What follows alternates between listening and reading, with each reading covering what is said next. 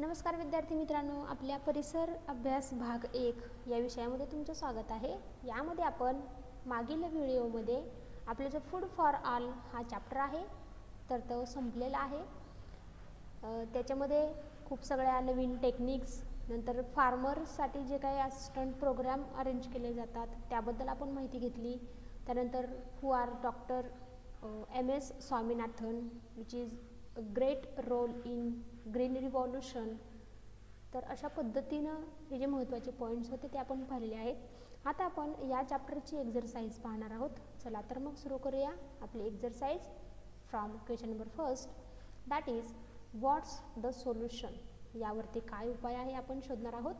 That is the plant in the pot is not growing well एका पॉटमधलं जे भांड आहे सॉरी प्लांट आहे तर ते व्यवस्थित ग्रो होत नाही त्याची वाढ होत नाही आहे तर काय कराल बरं तुम्ही?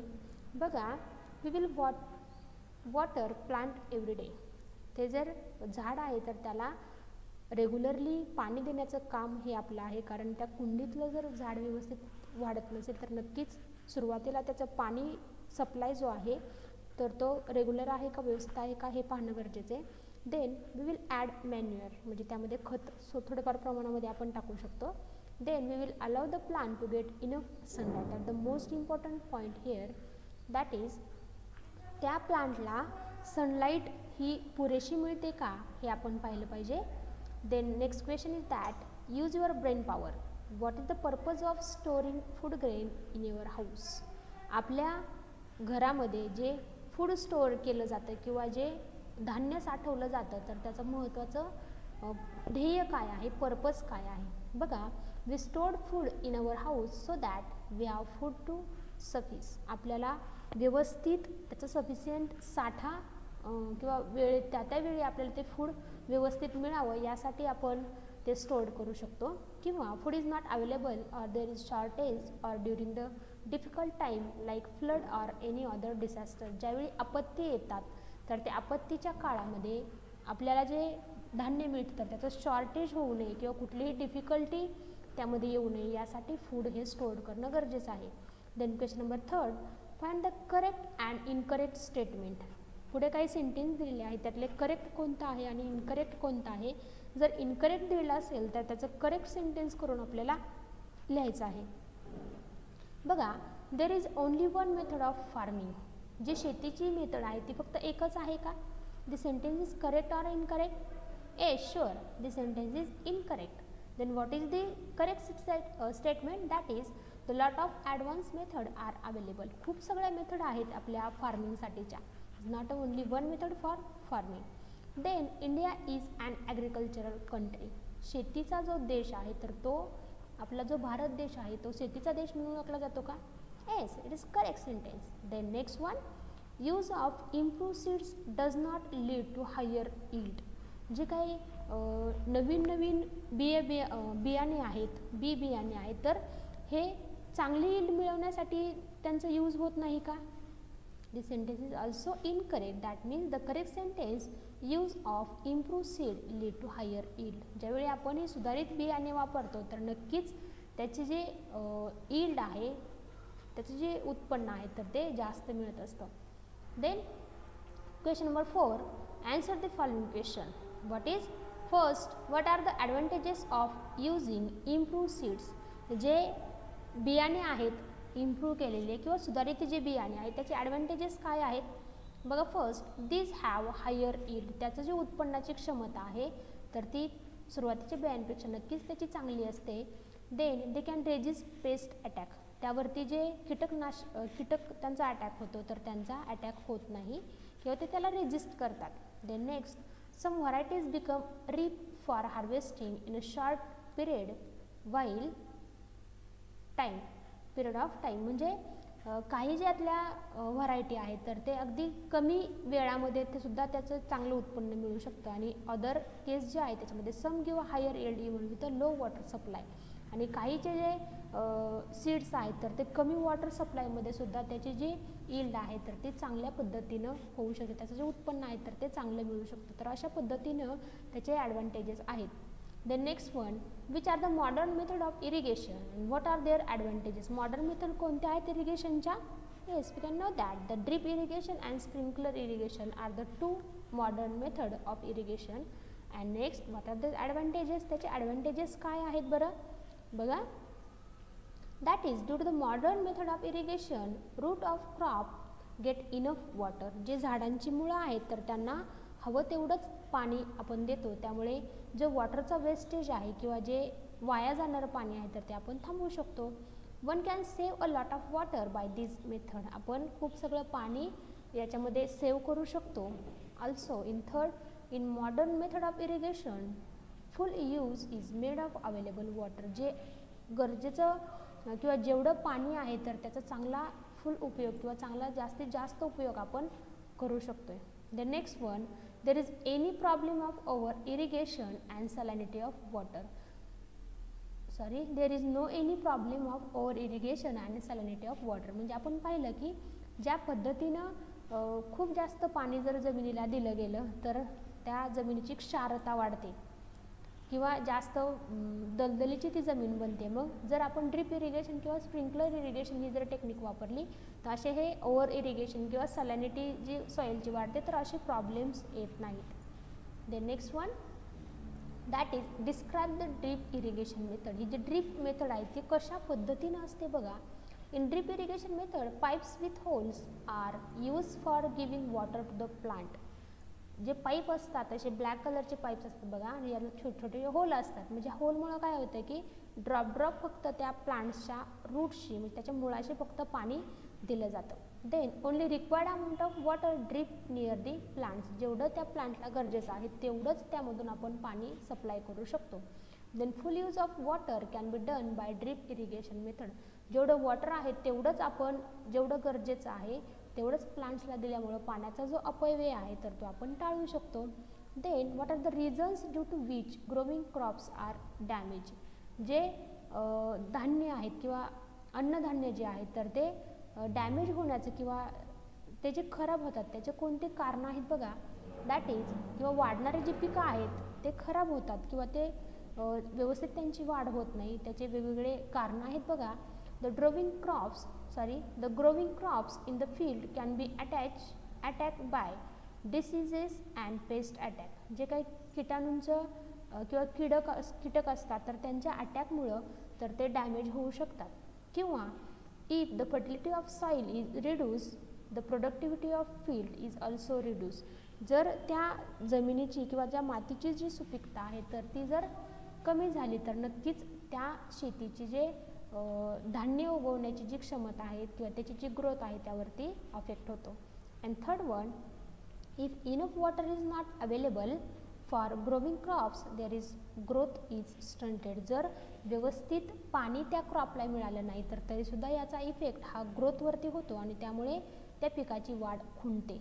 अशा पद्धतीने हे सगळे रिझन आहेत त्या पिकाची व्यवस्थित वाढ न होण्यासाठी. Then what is done to avoid the damage to crops हे जे डॅमेज आहे किंवा जे पिकं आहेत तर त्यांच्या ग्रोथवरती जो परिणाम होतो तर ते थांबवण्यासाठी आपण काय करू शकतो? बघा to अमाय avoid damage to the crop modern irrigation method are use to water ज्या मॉडर्न इरिगेशन मेथड आहेत ड्रिप आणि स्प्रिंकल इरिगेशन तर ते आपण यूज करू शकतो.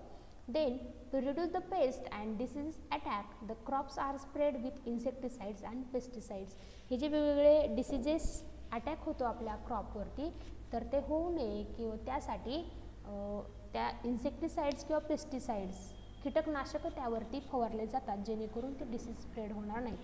And third one seed you also of improve quality and there are rub with certain chemicals before sowing म्हणजे जे बियाणे वापरले जातात तर ते सुधारित क्वालिटीचे असावेत चांगल्या क्वालिटीचे असावेत किंवा ते बी लागवड करताना त्यावरती केमिकल त्याला रब केलं जातं किंवा त्याच्यावरती गोळसलं जातं आणि आपण पेरणीच्या अगोदर हे त्यावरती गोळसून नंतर त्याची पेरणी केली जाते जेणेकरून त्याचं जी ग्रोथ आहे तर ती चांगली व्हावी यासाठी.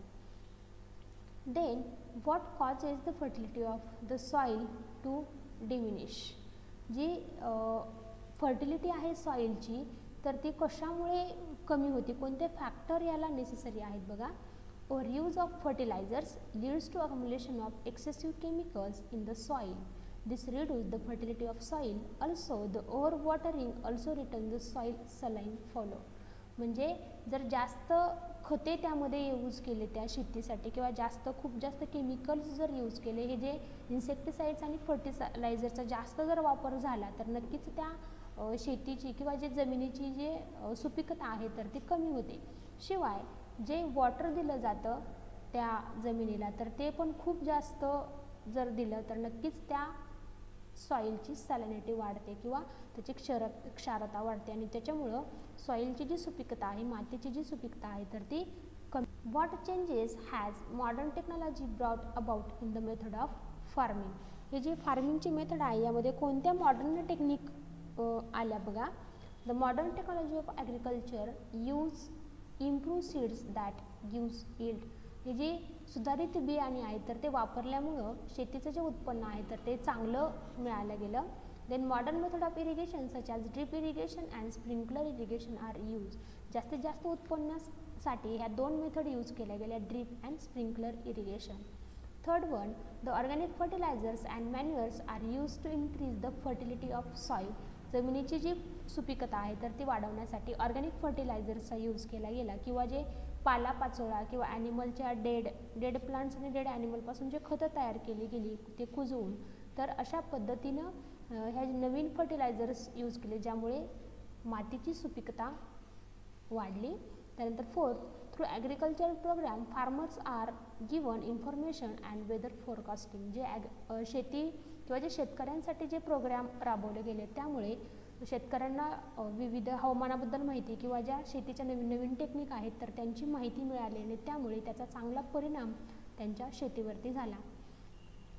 Then what methods are use to preserve food grain कोणत्या मेथड अशा आहेत ज्या की धान्य साठवण्यासाठी वापरल्या जातात? बघा the food grain is dried well in the sun and filled in sacks त्या चांगल्या सूर्यप्रकाशामध्ये वाळवल्या जातात आणि नंतर त्या पिशवीमध्ये भरल्या जातात किंवा पोत्यामध्ये भरल्या जातात.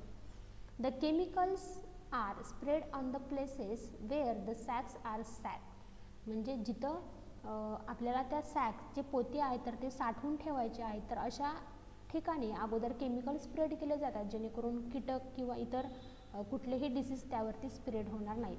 Then if the neem leaves are mix with the grain to avoid insect attack जर आपण त्या धान्यामध्ये लिंबाची पानं जर मिक्स करून टाकली तरीसुद्धा एखाद्या कीटकांचा अटॅक त्यावरती होण्यापासून आपण ते रोखू शकतो.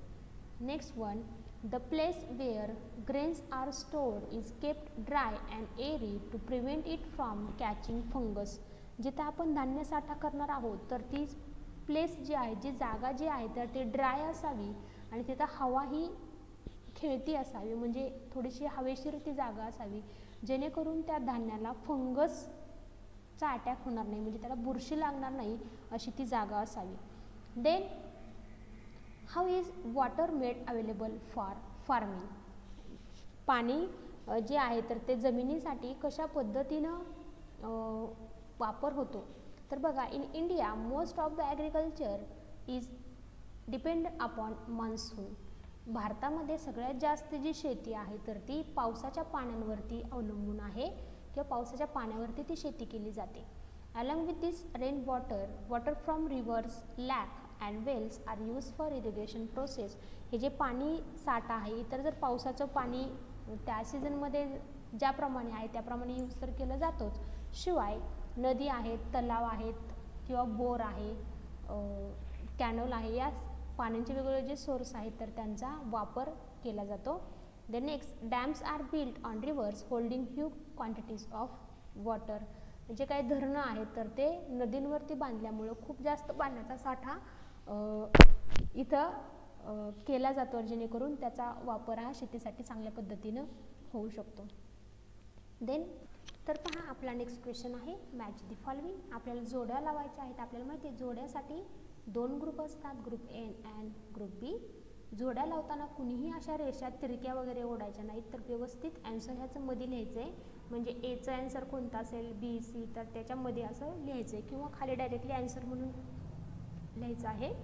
तर बघा ग्रुप एमध्ये काही पॉईंट्स आहेत आणि त्याचं मॅच आपल्याला बीसाठी करायचं आहे तर पहा grain stored in a dry and airy place जे धान्य आहे तर ते खेळत्या हवेच्या ठिकाणी किंवा जिथं स्पेस चांगली आहे हवा ही दमट नाही आहे अशा ठिकाणी स्टोअर करणं गरजेचं आहे. आणि third is adding proper chemicals हे जे काही केमिकल्स आहेत तर ते ॲड कशासाठी केले जातात ते एक आहे. आणि इकडे बी ग्रुपमध्ये दिलेलं आहे prevent growth of fungus on grain कोणता असा पर्याय आहे की ज्याच्यामुळे फंगसची ग्रोथ आपण थांबवू शकतो तर ते आहे grain store in a dry and airy place then second one prevent insect infestation इन्सेक्टचं इन्फेक्टेशन कमी करण्यासाठी किंवा थांबण्यासाठी आपण काय करू शकतो? तर नक्कीच त्याच्यामध्ये जे केमिकल्स आहेत तर ते ॲड करू शकतो. आणि last fungus attack to the stored grain हे कशामुळे होतं? जर आपण जे धान्य आहे तर ते दमट ठिकाणी जर साठवलं तर नक्कीच त्यावरती फंगसचा अटॅक होतो.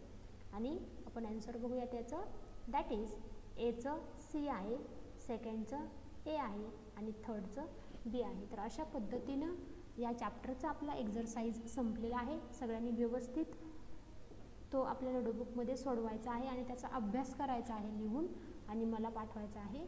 भेटूया पुढच्या व्हिडिओमध्ये न्यू चॅप्टरसह तोपर्यंत bye bye and take care